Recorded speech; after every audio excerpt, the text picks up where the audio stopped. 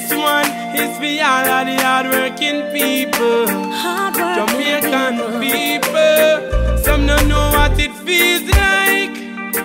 Feel work from six in the morning straight up to midnight. Working. Midnight. I'm here to tell you, you think it easy for barber stand up in the shop all day and nothing not go.